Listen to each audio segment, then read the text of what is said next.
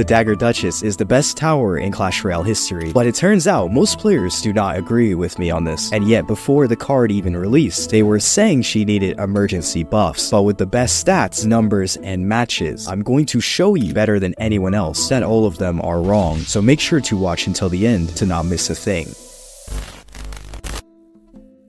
Let us cover the stats of this card first, to understand why she's really the best tower in Clash Royale history. Starting with the health points, you may be surprised to know that the Dagger Duchess actually has 5% more health points than the beloved Princess Tower, and an enormous gigantic 22% more health points than the Cannoneer Tower, a total embarrassment to Clash Royale, but it does not stop there. The Dagger Duchess has three unique modes we've never seen before, that each have different hit speeds and DPS, giving this card both its best strength and best weakness now, the first mode is the initial burst, which is when the Dagger Duchess is throwing only the first 7 knives, because there are 8 maximum daggers. This is the fastest mode she has without a doubt, and it relies on the written hit speed, which is a very quick 0.35 seconds. The second mode is only a bit slower and doesn't really matter. However, the third mode is called the reload and throw. This is when the Dagger Duchess has run out of all daggers, and needs to recharge because there aren't any knives left at this point, and she will throw the one she recharges, also resetting the recharge process of 1.2 seconds. So this hit speed of 1.65 seconds comes from the recharging time plus the written hit speed, which is what makes her attack so slow and ineffective when she is recharging.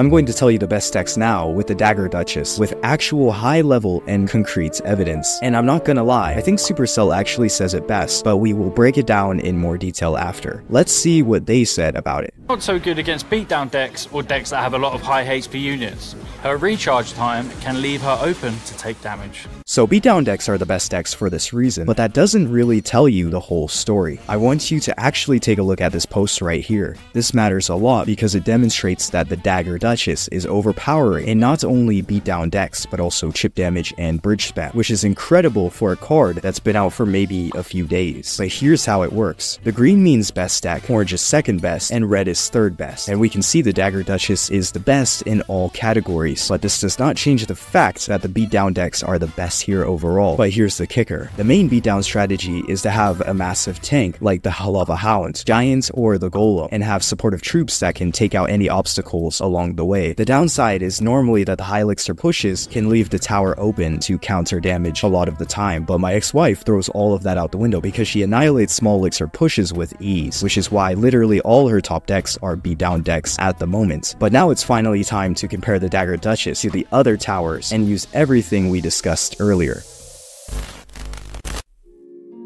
Is the Dagger Duchess the best tower after all? Well, please take a look at this graphic here and what it represents. It's telling us that the Dagger Duchess does an insane amount of damage at the start, not to mention in just 2 seconds, it already does a thousand damage points. She can take out a full Ice Golem head to toe, and of course, here's the stats for reference. But I think you know already it does not stop there, because it turns out the Dagger Duchess takes the least damage of any other tower as well, meaning it is literally the strongest tower by definition, which is shown by this amazing new video video by Caesar ELQ, and you can actually see me using this throughout the video because it's truly unbelievable. But the reason behind her win in the video is that no other card can do what the Dagger Duchess can do. So yes, she is definitely without a doubt the best tower right now, and it's really not a competition, and hopefully you can see why. But as always, tell me in the comments what you think, and check out this video on the Cannoneer if you want to know more about which tower is the best for you.